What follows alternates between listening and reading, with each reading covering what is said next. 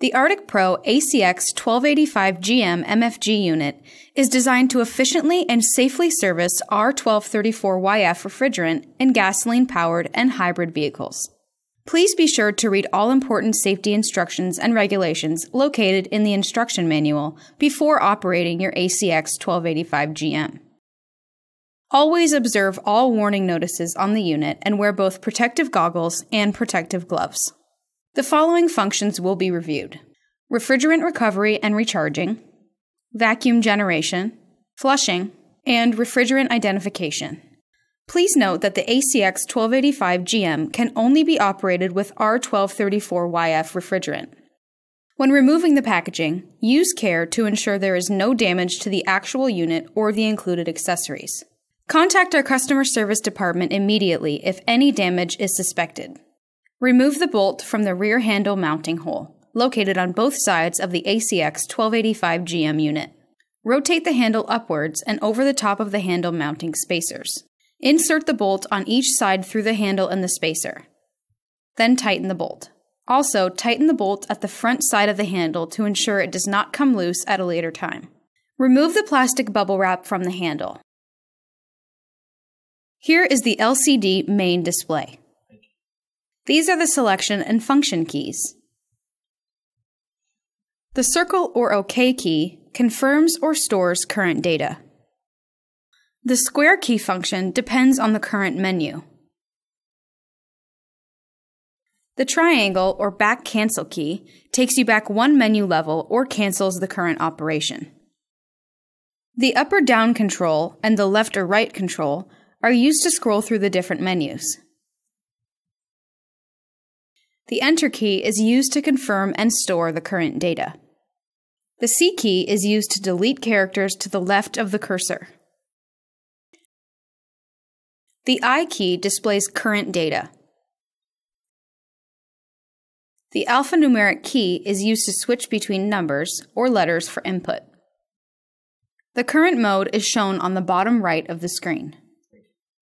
The status warning light will blink green if the current operation is successful.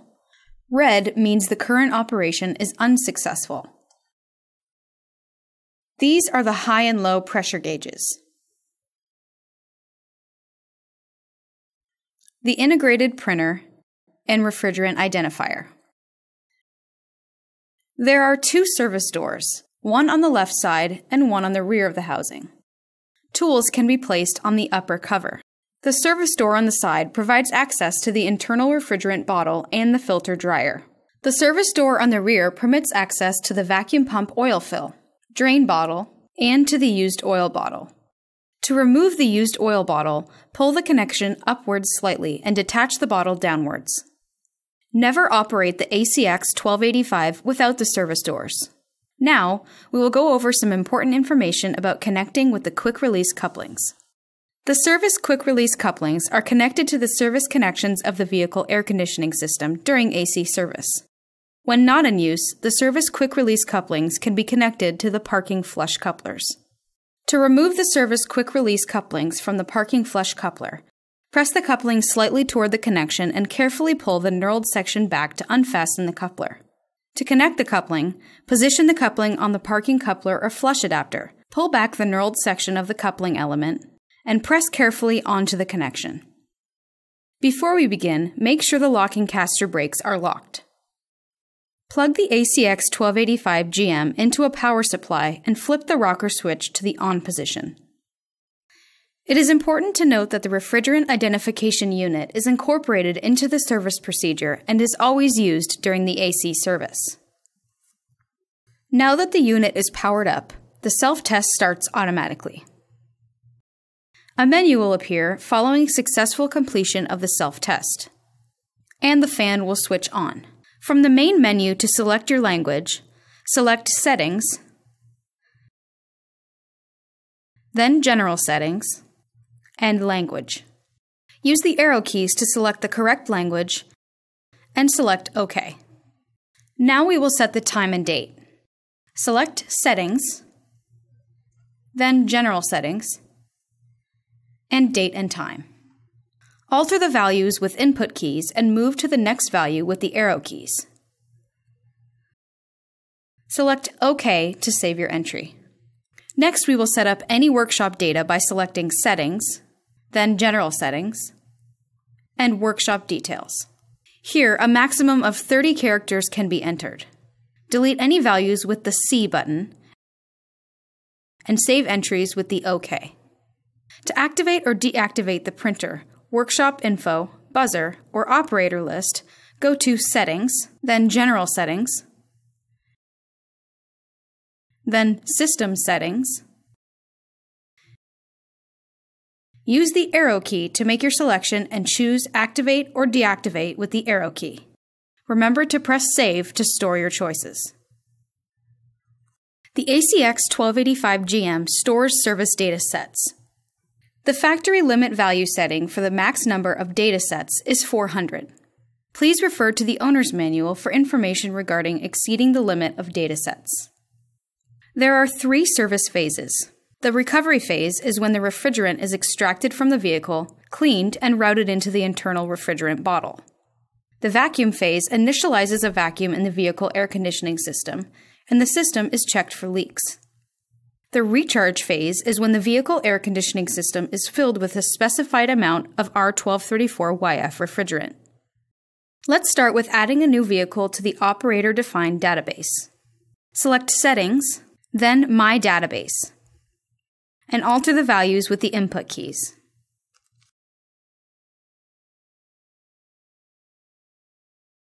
Store entries with the OK key.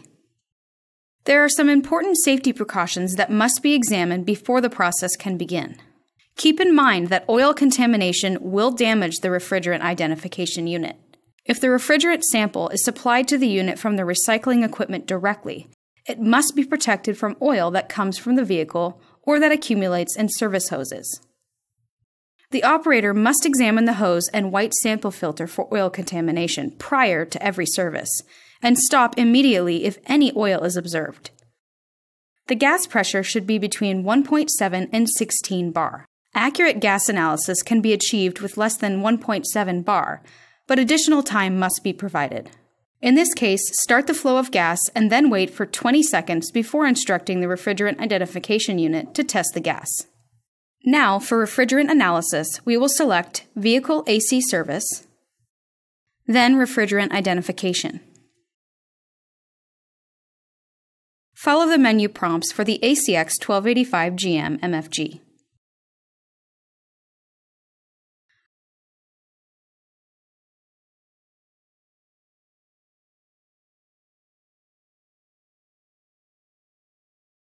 For decontamination, please refer to the owner's manual for complete directions on how to remove the contaminated refrigerant from the service hoses and couplers.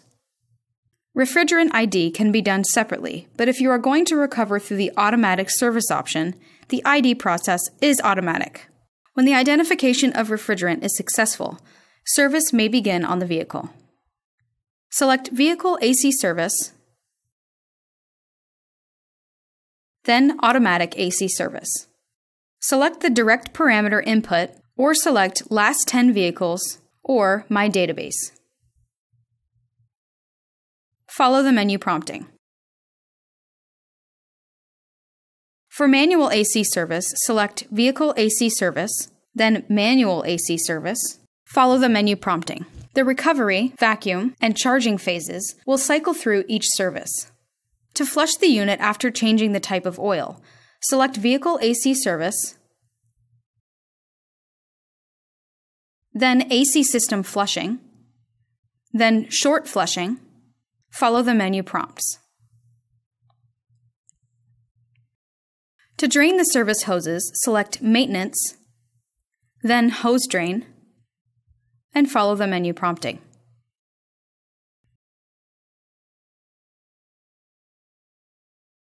For setting service parameters, select Settings, then AC Service Parameters. Alter the parameters with the input keys. The parameters can be preset at the start of the corresponding service phase in manual and automatic AC service. The ACX 1285 GM performs a system leak test to check that none of the components carrying refrigerant are leaking.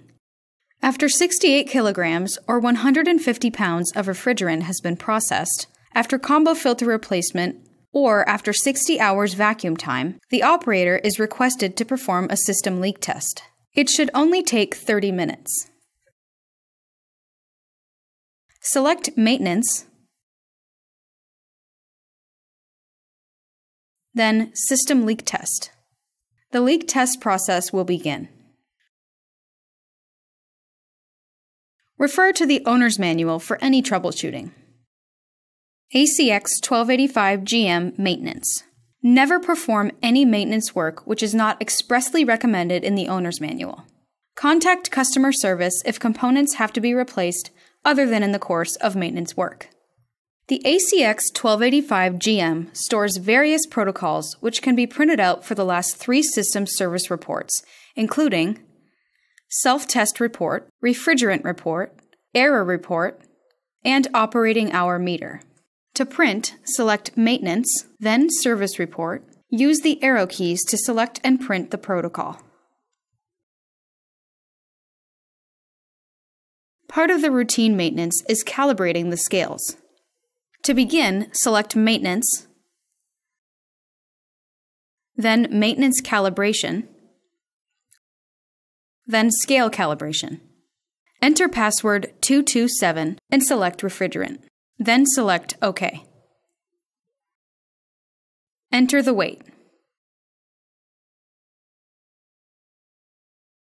Attach the calibrating weight and select OK. Calibration is completed. Select OK and remove the calibrating weight.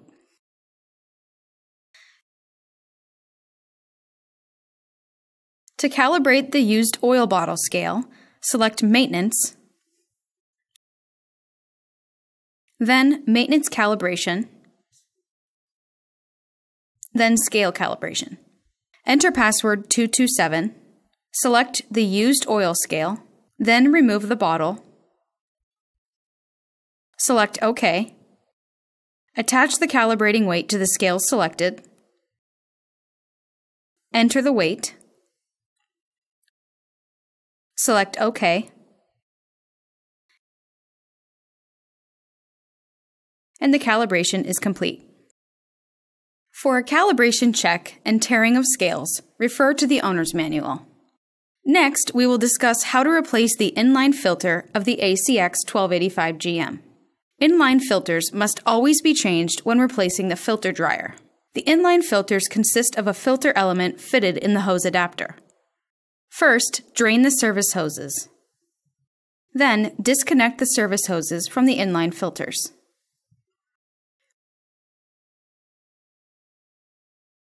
Remove the filter element. Then install the new filter element. Make sure the sealing ring is correctly positioned at the adapter and not damaged. Replace the sealing ring if it is damaged. Then screw the inline filter on the adapter. Then attach the service hoses to the adapter. This completes the steps to replace the inline filter. The vacuum pump oil must be changed after 60 hours of operation. The message, Change Vacuum Pump Oil, appears on the screen when the vacuum pump oil needs changing. Only use the vacuum pump oil specified by MAHLE in the owner's manual. First, to change the vacuum pump oil, place a container under the drain on the back side of the unit. Open the rear service door and slide the cover open to expose the oil fill port. Open the drain plug and filler plug of the vacuum pump. Drain all of the oil and then close the drain plug. Pour the vacuum pump oil into the oil fill port until the oil level is somewhere between the minimum and maximum lines. Power the unit on and start a vacuum process. Be sure to check the oil level. The oil level is accurate when the level is midway between full and empty. To reset the oil change interval, select Maintenance, then Service Report Statistics,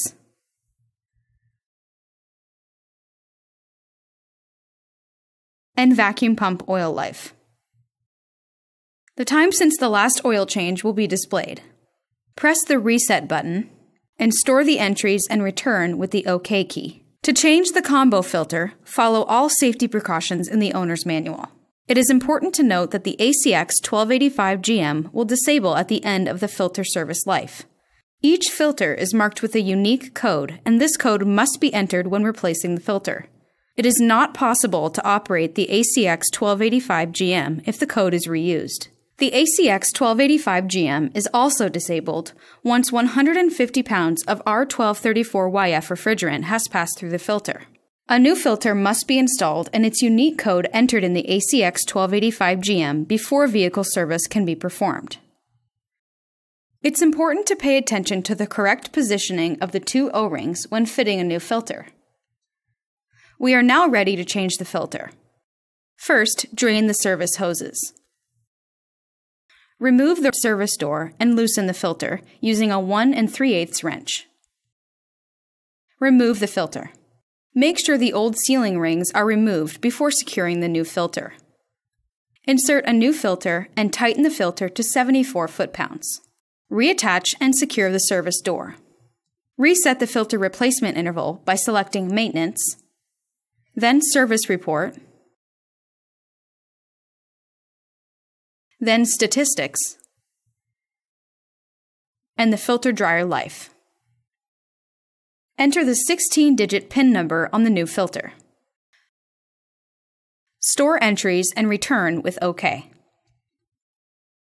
To install a software update of your ACX 1285GM, please note that this can only be done via USB stick and that the scales must be recalibrated after a firmware update. The first step is to make sure the machine is powered off. Then, press and hold the 8 key while turning the machine back on. When the display shows Firmware Update in the lower left corner, release the key. When the firmware update screen loads, please insert Update disk will appear. Insert the USB drive into the USB port located on the left side of the machine. Press the triangle key to update the unit. A status bar will appear while the software loads. This process can take several minutes. After completion, the unit will confirm that the update has completed. Remove the USB drive and power the unit off. To replace the printer paper, pull the printer lever until the cover is released. Change the roll of paper. Close the cover. This concludes the maintenance instruction. For additional instructions, refer to your owner's manual or call MAHLE Technical Support for assistance. Visit servicesolutions.mahle.com for additional information on tools and equipment from MAHLE Service Solutions.